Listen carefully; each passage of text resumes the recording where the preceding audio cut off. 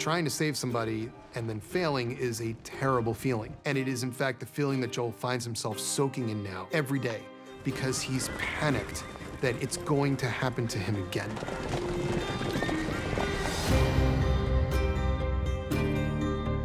He can handle being shot at, he can handle being punched, kicked. What he cannot possibly fathom is going through the experience of losing his child again, and that's what Ellie is becoming to him.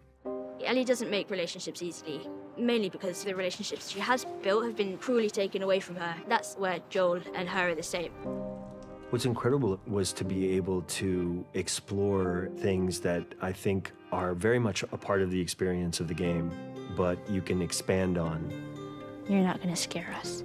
Scared him? One of those things is the internal life of these characters. With the show, there was this addition of like, he's having a physical reaction to that. He can't breathe, his chest hurts. It's a combination of his age, but also all the events that have just happened. Are you dying? And his connection to Ellie. He's just so scared. And Ellie doesn't quite understand what's happening with him. Joel just feels like he needs to save everyone around him. Joel has this goal where he thinks he needs to go save his brother.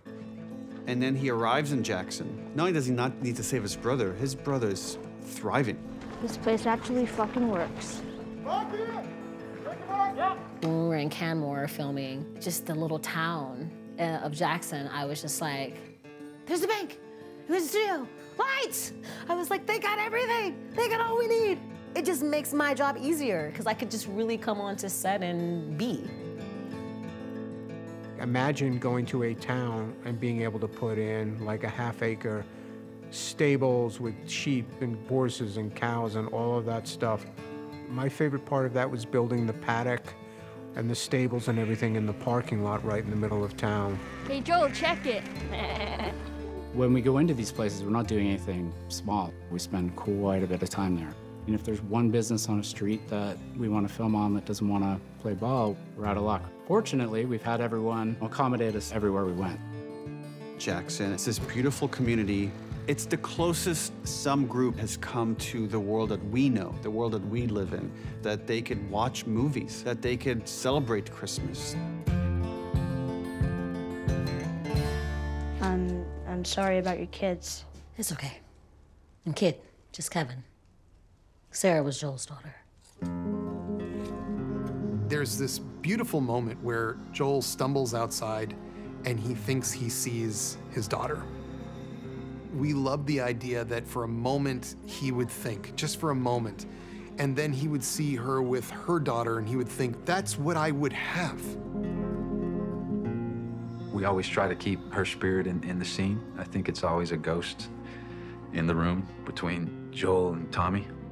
I'm failing in my sleep. It's all I do.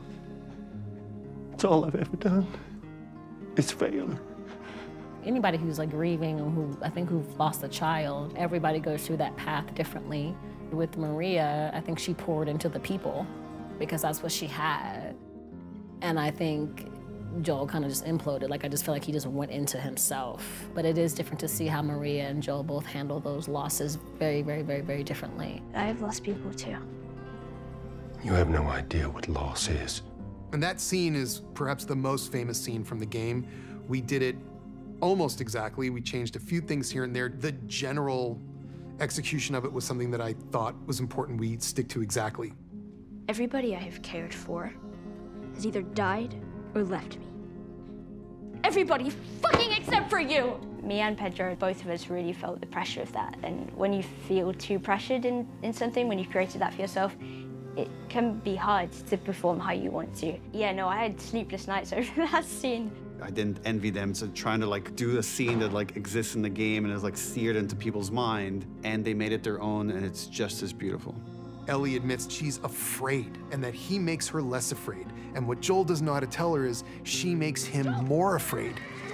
That when you care about something or someone, that's when the fear happens. Joel? Joel, no, no, no! Shit! Ellie's biggest fear is definitely ending up alone. Joel, open your eyes. Open your eyes. I can't fucking